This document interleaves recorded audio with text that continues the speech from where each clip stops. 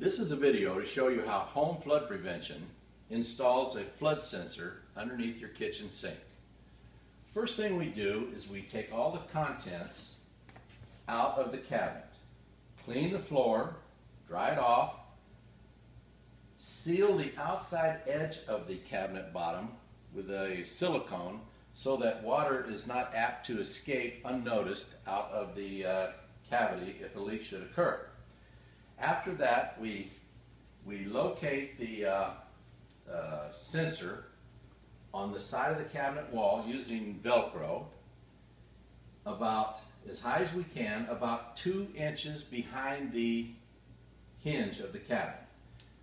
After it's installed there, we leave a loop of wire about 16 inches. This is important because that allows you to, when you service the sensor, to take it out easily, pop the back off, check the batteries, check for corrosion, do your service job.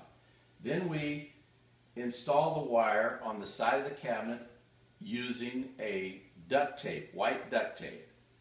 This blinds it in and uh, keeps anybody from snagging the wire if they should get underneath the cabinet. Tidy up the wire as you go.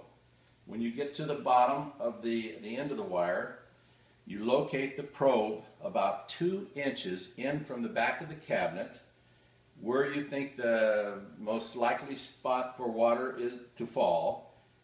Glue the probe down using uh, liquid nails or a silicone and that uh, makes sure that the probe stays in place. You glue it flat down. The probe's uh, designed to do that. This is the way you install a flood sensor in a kitchen sink.